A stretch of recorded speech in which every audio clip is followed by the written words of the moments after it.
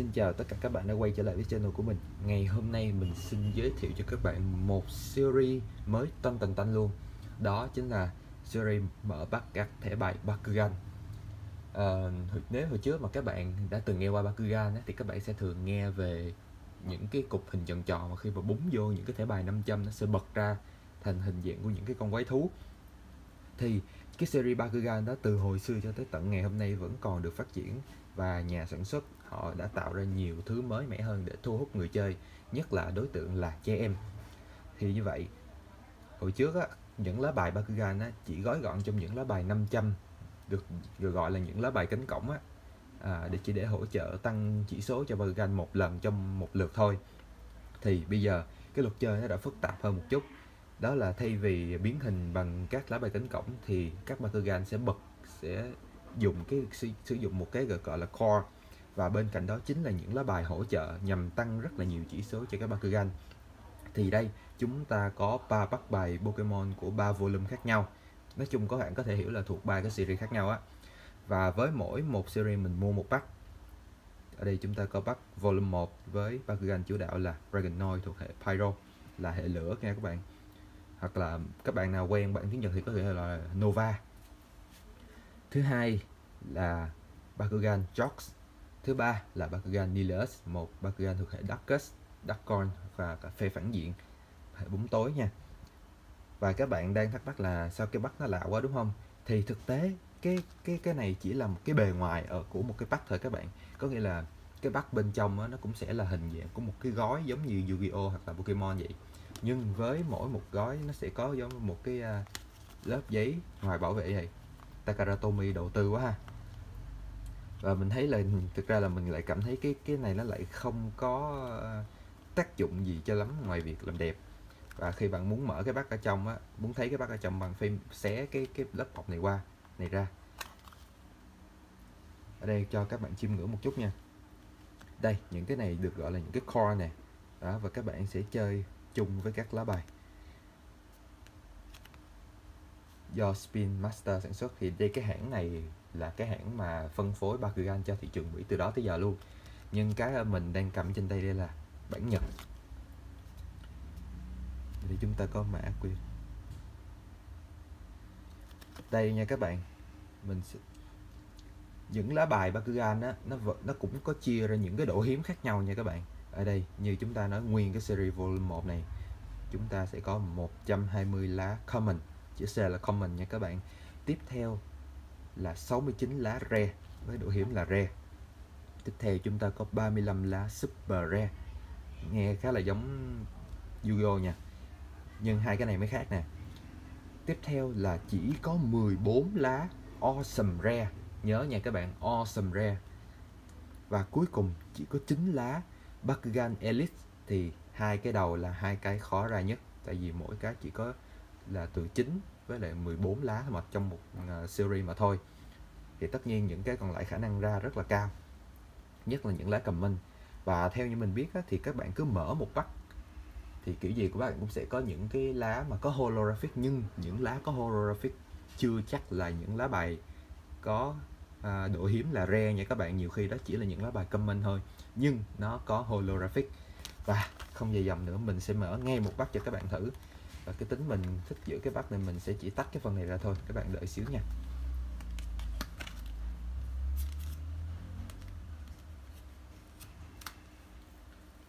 Nói sơ qua thì Bakugan này nó cũng chia làm những cái hệ giống như là Yu-Gi-Oh với Pokemon vậy đó. Chúng ta là có 6 hệ chính nha. Ví dụ như là hệ Pyrus hay nếu các bạn quen với phiên bản tiếng Nhật á, thì nó gọi là hệ Nova tức là hệ lửa. Chúng ta có Subterra là hệ đất. Heos là hệ ánh sáng. Darkus hệ hệ bóng tối. Bản tiếng Nhật là Darkcorn đấy. Aquas à, nghe cái tên chắc là chắc các bạn cũng biết rồi. Đó là hệ nước và cuối cùng là hệ Ventus là hệ gió.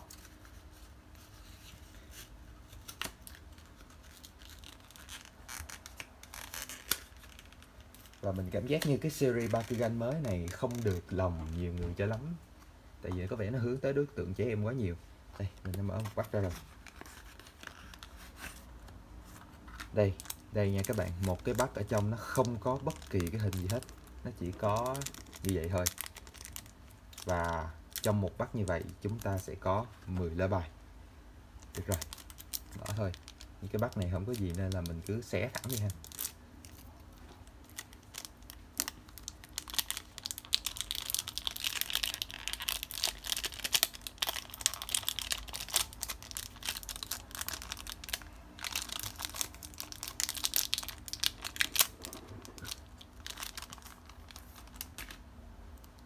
Rồi, để xem đây là cái mặt sau của lá bài Bakugan nha các bạn.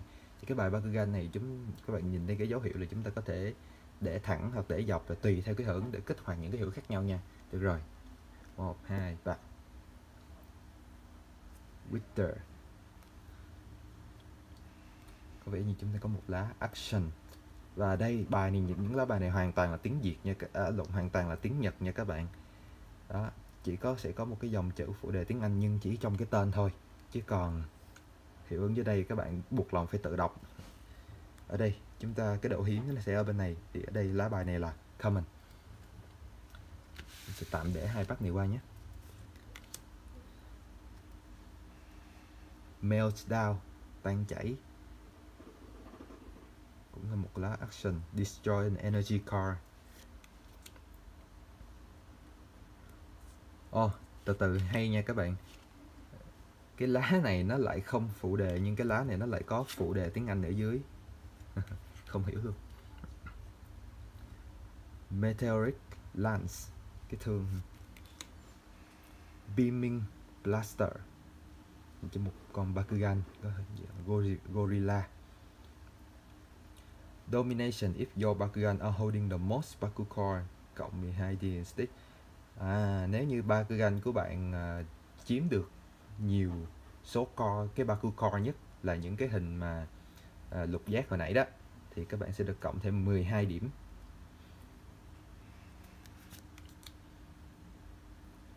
Molten Helix.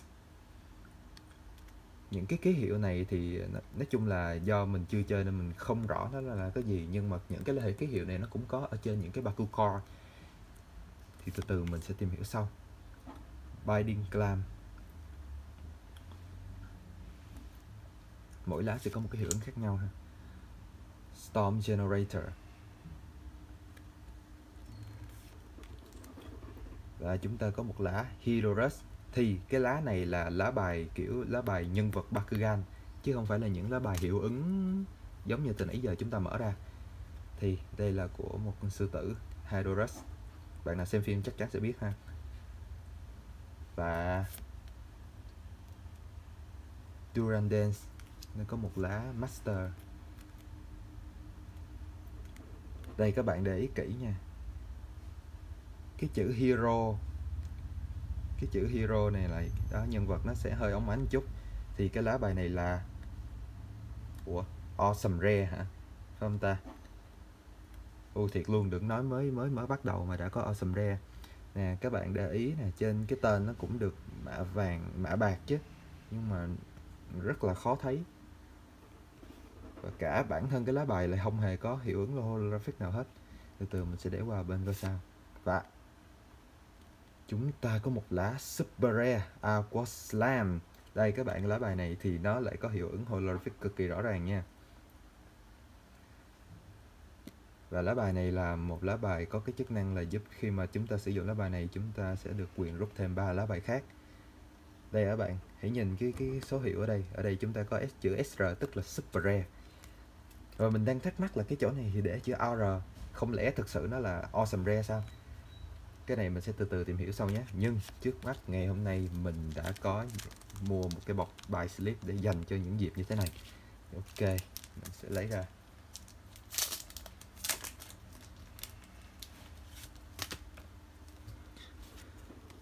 Vô slip này em ơi đẹp quá.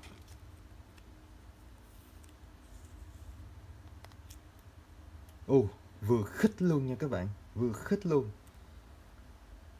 Nhìn cái lá bài nó đẹp lên hẳn. Chưa biết sao Nhưng chúng ta cũng nên bỏ lá này vào trong slip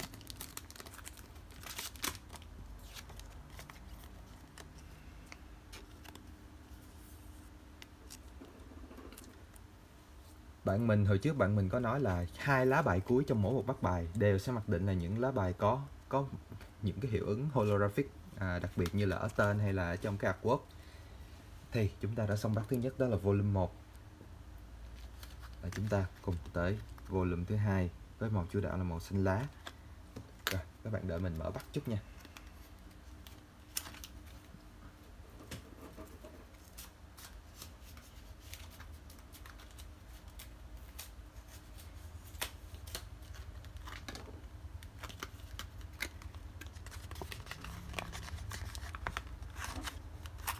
Bắt lần này cũng vậy, chúng ta không có một cái hình gì trên cái lá, cái bắt hết. Để qua một bên.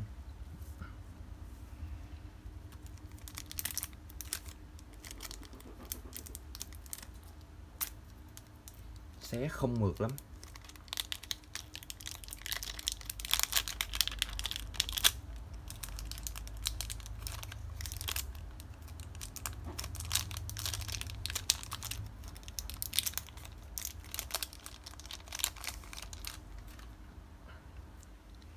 Rồi, để xem chúng ta có gì đây. Chaos Blazing.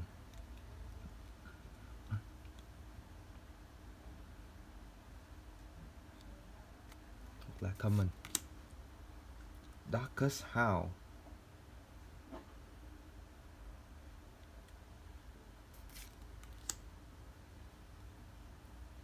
Ồ, chúng ta có hai lá có cái hiệu ứng khá giống nhau là And You May Reroll Your Bakugan và chúng ta có thể chịu hồi lần nữa chắc. Có thể như vậy.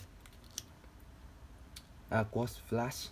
À chúng ta có một lá bài bổ trợ cho lá Bakugan hồi nãy.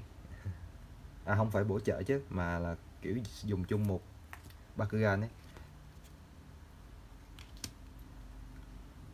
Close Clutter ở đây cái này mới là bổ trợ cho cho cho bé Bakugan này đây. Thì cái lá lá này là lá Bakugan này chứ không phải là lá hiệu ứng.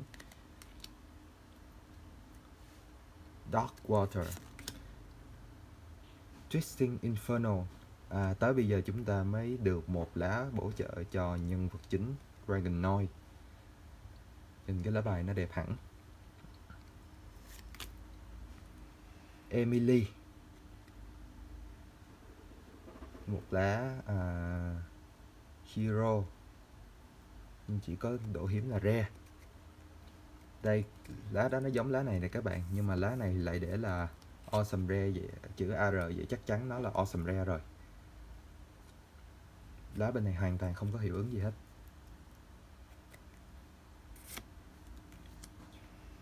Chúng ta có một lá hero khác. Và lần này nó ghi là SR tức là super rare nha các bạn. Tức là có nghĩa là những cái bắt bài Bakugan này á, thì không phải là nó có cái độ hiếm là nó sẽ có hiệu ứng holographic. Đó ví dụ như awesome rare và super rare. Đó các bạn thấy lại có chung một cái kiểu uh, mã mã tên. Không đặc biệt cho lắm. Lightning. Chú chó này mình có coi phim rồi và nó sai Bakugan như đúng rồi vậy đó. Và chúng ta có một lá rầy cuối cùng. Và đó là Ask Cloud. Mình không nhớ rõ lắm cái lá nằm ngang như thế này là xài như thế nào nữa, tại mình có chơi đâu. Mình chỉ coi phim thôi à coi phim không hề sử dụng lá bài luôn á. Hiệu ứng holofake cũng đẹp nha các bạn. Và đó là lá bổ trợ cho Dragonoid à một lá trigger cái loại của lá bài nó sẽ nằm ở cái dòng này nha các bạn. Những lá vừa rồi như những lá hiệu ứng thì nó sẽ có cái dòng chữ là action. Những lá nhân vật thì chúng ta sẽ có dòng chữ là hero. Chúng ta sẽ có một cái thể loại bài là trigger. Và các bạn thấy đó, lá bài này chỉ có là common rare. À chỉ là common thôi, độ hiếm là common thôi, tức là bình thường. Mà nó có cái hưởng holographic như thế này. Ok, chưa hiểu rõ lắm, nhưng mà mình cứ bỏ vào slip đi.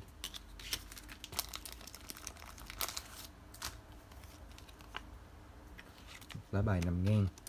Nó làm mình nhớ tới những lá bài climax. Nếu bạn nào chơi Waste War Super và chúng ta tới bắt cuối cùng. Mình bắt đầu có hứng thú với cái ờ, thẻ bài Bakugan này rồi đó các bạn. Mình nên để ngang đi. Đó là bắt uh, của hình Bakugan Nilus một lần nữa không có gì hết. À, không có lần nào mà mở ra mà nó nó mượt hết á.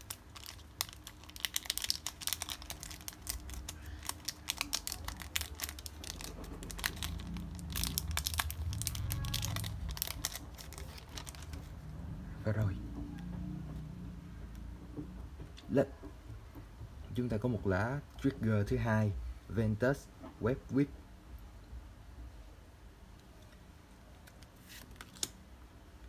Body Slam.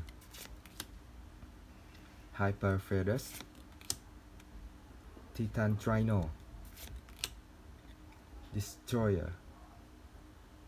À, quên nói các bạn, đây riêng bắt này hơi đặc biệt là chúng ta này từ nãy tới giờ cả hai bắt trước chúng ta đều mở ra những lá bài đầu, đều là những lá bài action, tức là những lá bài có những cái hiệu ứng để bổ trợ cho Bakugan. Thì cái bắt này chúng ta có liên tiếp hai thẻ bài Bakugan. Nó cũng khá giống như thẻ bài nhân vật vậy nhưng mà thay vì là con người thì đây là Bakugan.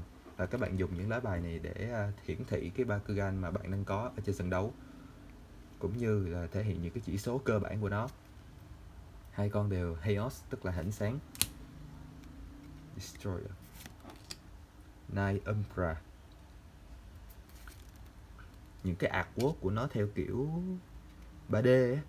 nhìn nó rất có chiều sâu nha. Avalanche. Room Wave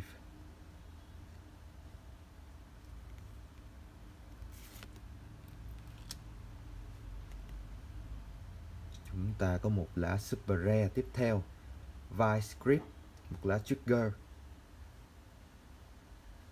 Các bạn sẽ để ý kỹ, nó sẽ có những cái hiệu ứng phản quang nhẹ ở cái phần tên hoặc là những cái ký hiệu. Nhưng mà nó để vậy hơi khó thấy nha.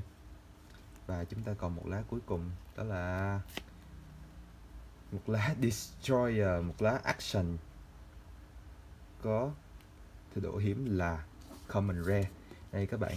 Oh vậy chúng ta có một bắt mà chúng ta lôi ra được hai phiên bản của một lá giống y chang nhau. Cả hai đều là common hết nhưng một lá có holographic một lá thì không.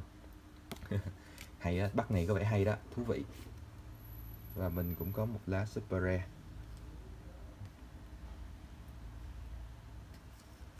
Cái uh, kiểu bài Bakugan này nó làm cái uh, nó chia nó làm cái uh, rare hơi lạ ha tự nhiên là comment cũng có thể có holographic nữa. Rồi những lá bài này rất là đẹp nên mình sẽ cho vào slip. Lần này là đầu tư slip đàng hoàng luôn. Và chắc chắn là những cái uh, lần mở các bắt bài sau của mình cũng sẽ như vậy. Và rồi mình cùng coi lại những lá bài đặc sắc nhất của từng bắt nha. Những lá bài này thì uh, thôi cứ để đó. Mình chỉ ra được một lá awesome rare thôi mà nó chỉ có cái holographic ở cái cái hiệu ứng phản quang ở cái tên. Nên mình sẽ tìm hiểu lại sau. Và ba lá re ba lá có holographic rất là đẹp. Uhm, nhìn chung thì nó cũng chung kiểu thôi. Nhưng mà do cái hình vẽ làm theo kiểu uh, trông có vẻ có chiều sâu á nên nhìn cái hình nó đẹp hơn hẳn. Và rồi nếu các bạn yêu thích các Bakugan và muốn tìm hiểu thêm những bắt bài Bakugan khác có gì hoặc là mình sẽ kiếm cho các bạn những bắt bài Bakugan fake luôn. Nếu có thể mình sẽ cố gắng kiếm ra những cái đó và review cho các bạn và xem nó có khác gì với bài thật hay là không. Và video cũng dài rồi. À, cảm ơn các bạn đã đón xem. Xin chào và hẹn gặp lại.